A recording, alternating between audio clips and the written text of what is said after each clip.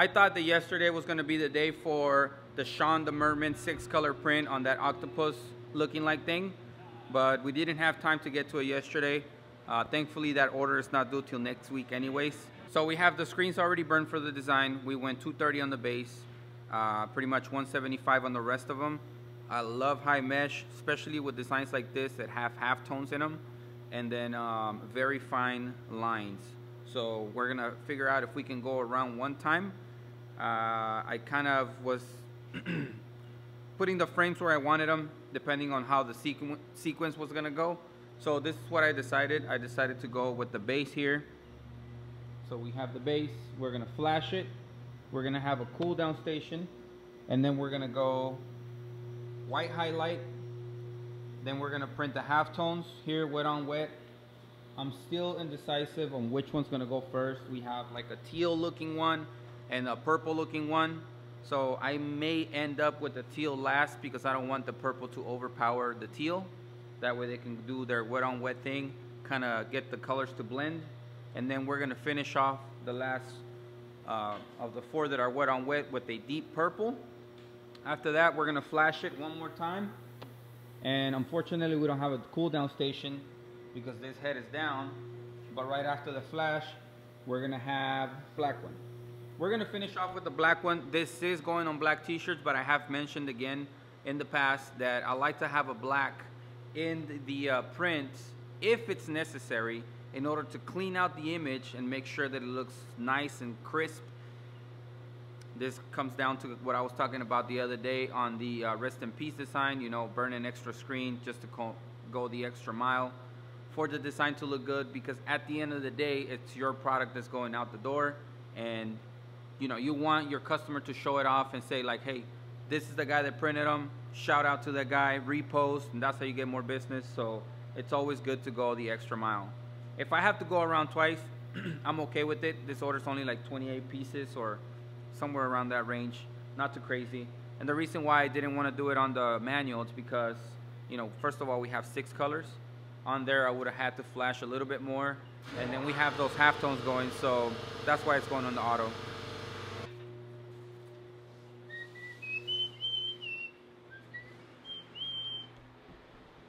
All right, so in the office, we have a little project going on.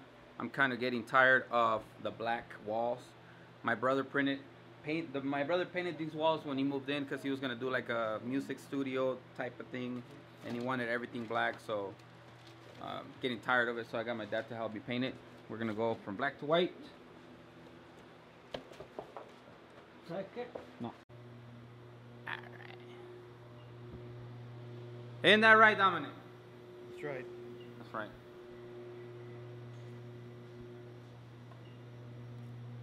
Okay, so we had Dominic over here picking the uh, teal-ish color because out of all the ones that we need, that's the one that I don't have here in my stockpile. So he was trying to do the best that he can to match that teal to whatever is close here on the uh, Pantone book so we can mix it. That's the purple we're gonna go with or the uh, lavender. That's the purple right there. This is the closest we had, but it was somewhere in the middle that we needed. So which one did you pick? That's right. That was one of these two. I like that one. Yeah. We're gonna pull it up and mix it. And then after that, we're gonna finish the setup so you guys can see um, how it turns out.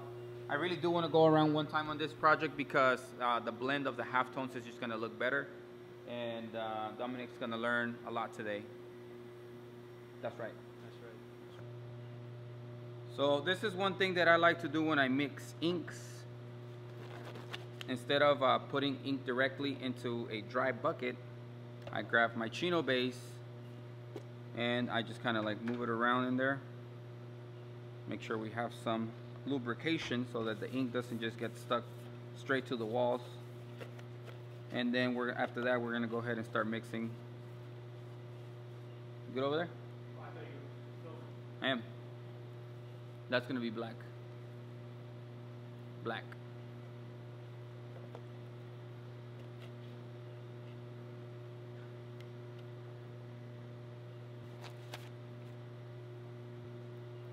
Make it look professional, you guys. Uh, we're gonna write down the information once we're done mixing the ink.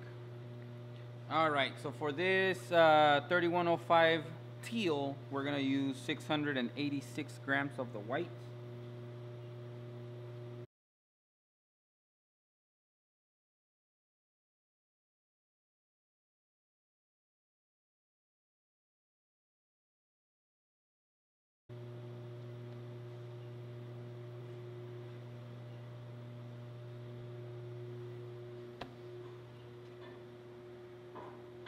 Six eighty six of the white.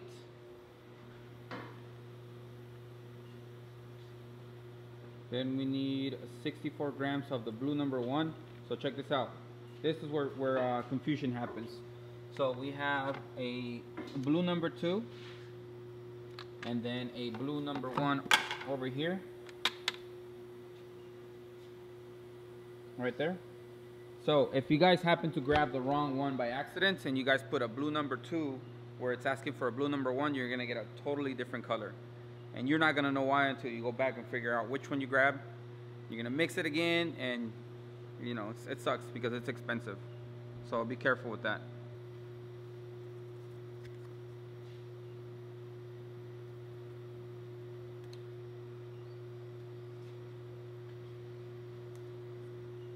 So we have one more to go. And the last one is a fluorescent lemon.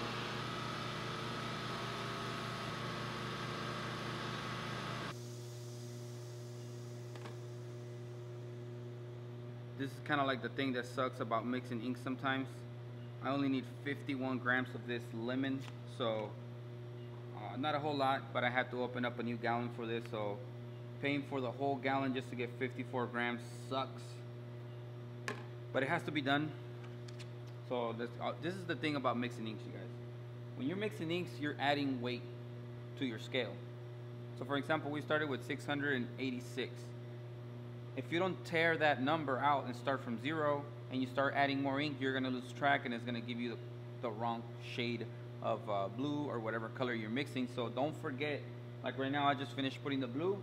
I gotta tare it and start from zero so that I know that I'm only putting 51 grams of this fluorescent yellow. So we don't want to get any ink on our equipment or our hands.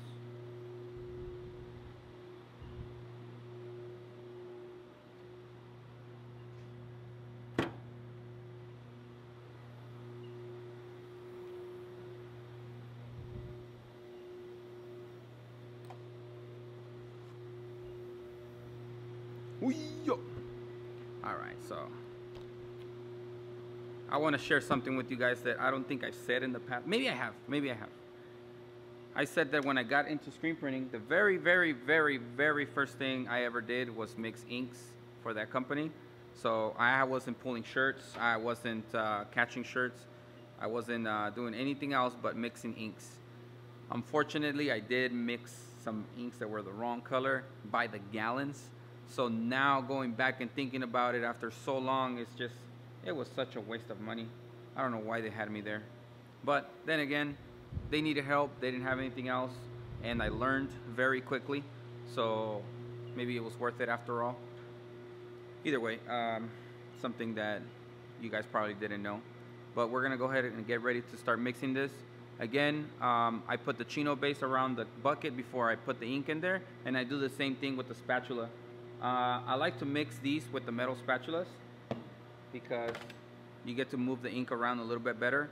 And if you dip this in the chino base, you don't get the actual color stuck to the to the you don't get the actual color that you put in there stuck to the spatula and then you have to like come back and scrape it off so that chino base just kind of makes everything easier and uh, once we get that color I'm gonna show you guys match it to the Pantone book and then continue with the setup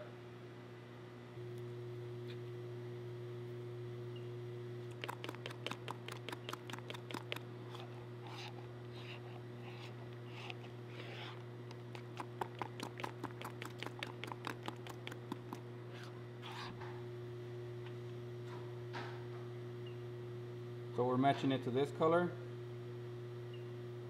No, we did 3105. Yeah, 3105. Yeah, that's the top one, not the bottom one. So that looks like it's it right there.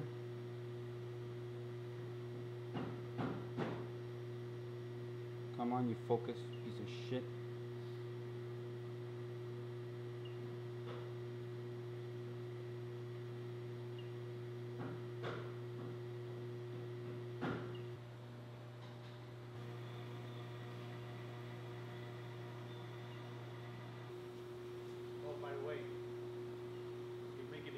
The the glasses.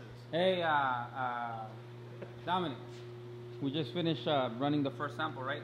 Yes, That's right. that's right. All right. All right, you guys. So let's go ahead and take a look at the uh, first sample. It went around one time. Uh, I think we need to warm up the boards to get the nice smooth print. The first one's a little bit rough because we just kind of ran it down. But overall, it turned out really good. So like I said, we have the base, flash, and then we have the white, the uh, lavender going with on with, with the 3501, 3105. 3105. And then we finish off with the deep purple. I don't know, it's kind of hard to see the deep purple here on camera, but it's little details going around the octopus. We flash that and then we finish with the black to make sure that it cleans up all these little lines. And this right here, it's not black going on top of the blue. It's just blue going directly into the shirt. So it gives it that shadow effect without having to put black halftones on top.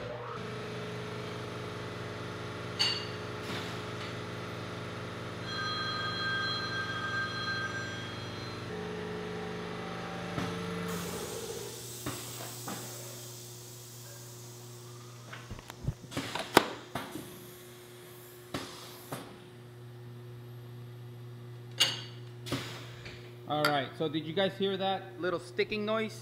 That's because we have those four colors flashing and then hitting the black afterwards. So it, the ink is not like, I don't know. Sometimes the ink's a little bit thicker and it tends to stick like that. So we use this silicone uh, very rarely, but when this happens, you know, we just kind of spray it on there and it helps with the tackiness. And that's gonna be the setup for the six color, uh, one time around on the automatic for Sean the Merman, all high mesh, uh, one time around. And we have Dominic over here loading the t-shirts because he gained our trust with loading and unloading and moving the buttons on the machine. So his days are numbered here. I think Uh-oh. tomorrow's his last day. Don't be scared, man. Be good? You're not gonna rip the shirt. I'm sure you're strong, but you know, shirt's gonna be all right. So that is one thing that I like. Uh, if you have ever done halftones in the past, what you want to do is you want to have the uh, solid color fade all the way to the top of where the top color starts solid, and that one fades all the way to the bottom. That way they kind of blend into themselves, and you don't have like a straight line that ends with the halftones. Uh, I'm sure some of you guys have that problem out there because it's very common. And just remember to always burn on high mesh, especially if you're using an automatic because you're not the one pulling the squeegee. And um, that's gonna be it for today. I hope you guys learned something. High mesh, and always before you set up, kind of think about the setup so that you know what sequence is gonna go in. And if it doesn't work out for whatever reason, you can always revolve it, which we always try to avoid by any means. But that's it. Go ahead and like this video, subscribe to the channel, share the channel if you think it's gonna help somebody.